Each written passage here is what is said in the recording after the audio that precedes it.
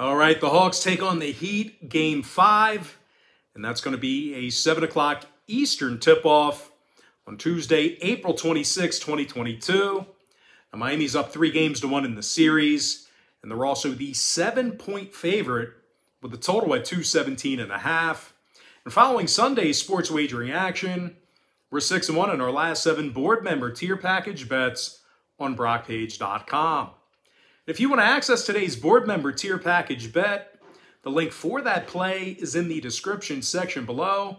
And if you want to see which one of these free YouTube picks on my channel that I'm actually betting on personally, there's only one way to do that, and that's to sign up for a membership on my website at BrockPage.com. I have packages on that site beginning at just $1.99. Now, guys, the Heat's been incredibly tough to beat at home this season. As a matter of fact, these guys are a perfect 10 0 against divisional opponents at home this year.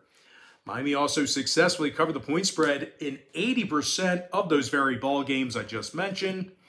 And when it comes to this particular series, Jimmy Butler's averaging 30 and a half points per contest, along with seven rebounds, five assists. Now, Buckets has also been buckets from beyond the arc. Jimmy's making 44% of his three pointers this year. And speaking of three pointers, PJ Tucker is making 62% of his shots from downtown himself in the series. 11 points a night for PJ. And this proficient three point shooting out of Miami really shouldn't surprise anyone. These guys are currently leading the NBA in offensive three point percentage. Now, they're also taking on a Hawks team who's had uh, difficulties defending the three ball this year themselves. As a matter of fact, these guys are amongst the worst in the entire NBA uh, in defensive three point percentage. Now, offensively, on the other end of the court, the uh, Hawks have also struggled with the basketball in their hands in this very series. They're averaging only 98 points a game uh, in the postseason right now. When it comes to the injury report, Lou Williams is questionable for the Hawks. Meanwhile, for Miami, Kyle Lowry is questionable for them. Now, total wise, seven out of these teams' last 10 head to head meetings fell under the posted number. Atlanta's also gone 60% to the under in their divisional road games. Meanwhile, Miami's gone 60% to the under against the Southeast Division themselves. I'm going to lean toward Miami minus seven in the under 217 and a half. Next ball game, it is going to be Timberwolves Grizzlies game five. That's going to be a 7:30 Eastern start time. Series is all knotted up at two games apiece. Now Memphis is minus six and a half at home. Totals 233. Now the Grizzlies have won a staggering 75% of their home games against Western Conference opponents. They're also leading the league in home scoring and home offensive rebounding. And speaking of scoring, Desmond Bane, he's drilling 49% of his three pointers in this very series, along with 23 points a game. Meanwhile, Ja Morant scoring 20 and a half points per contest in the postseason himself, along with double digit assists. They're taking on a Minnesota team who's actually played worse defense on the road than any other team in basketball this season. These guys allow nearly 119 points a game when they travel, and they've also had little success guarding the field goal. Now, when it comes to head to head meetings between these two squads, Minnesota's allowing nearly 118 points a night to Memphis. When it comes to the total, Minnesota's gone 31 and 12 to the over this season away from their home court. Of course, that's good for over 72% in that particular category. Meanwhile, Memphis saw four out of their last five at the Forum get over the posted total themselves. I'm going to lean toward Memphis minus six and a half in the over 233. Next and final matchup of the show, it is going to be Pelicans taking on the Suns game five, and that's going to be a 10 o'clock Eastern start time. Series is tied up at two games apiece. Phoenix is minus six and a half at home, totals 215. Now, the Suns looked all out of sorts in game four. They allowed 118 points and they actually lost by 15 in the process. The Suns have also had difficulties covering the number here lately.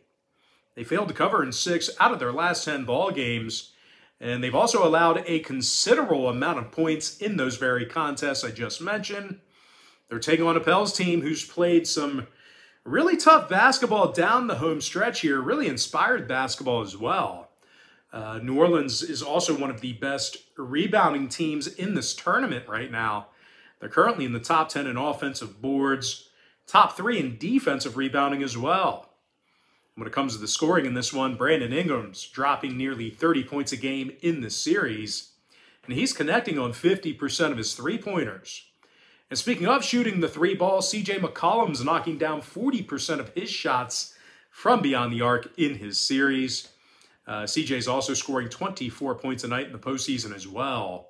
When it comes to the total in this one, New Orleans has gone 60% to the over in their last 10 outings.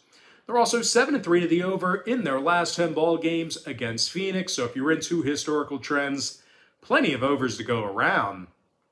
Meanwhile, the Suns are actually allowing 118 points a game in their last three against the Pelicans themselves. I'm going to lean toward New Orleans plus six and a half, keeping this one close. And the over 215. And with that, guys, now it's time for our quick pick recap. Power to you by my website at brockpage.com where we are currently 6 and 1 in our last seven board member tier package bets following Sunday sports wagering action. I like Miami minus 7 under 217 and a half. Memphis minus 6 and a half over 233. And with my next and final free pick for the video, I'm going to lean toward the New Orleans Pelicans plus 6 and a half in the over 215. And with that, guys, that's going to do it for me. Don't forget to check me out on brockpage.com. Now, if you guys do end up getting a membership here today on my website, just keep in mind you're going to get billed the day you sign up and then the first of every month following that. So if you do end up getting a membership here today on brockpage.com, you're going to get access to that membership every single day all the way through the end of April. Uh, April. I do um, tell folks in every single video, the earlier in the month you sign up, the better. And guys, if you want to get access to every single bet, that I give out on that website. You're going to want to sign up for my board member tier package. Uh, the board member package is an all-inclusive membership.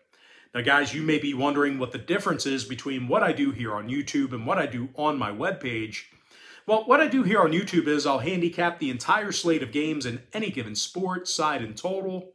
what I do on BrockPage.com is I actually share with you which one of these free YouTube picks on my channel that I'm actually betting on personally. But most importantly, guys, got to thank you for joining me right here on YouTube. Really hope you enjoyed all this great free content, all this great free information. And with that said, guys, happy Monday or Tuesday to you, depending on when you're watching this. Best of luck to you. And I look forward to seeing you later on today on my website at brockpage.com.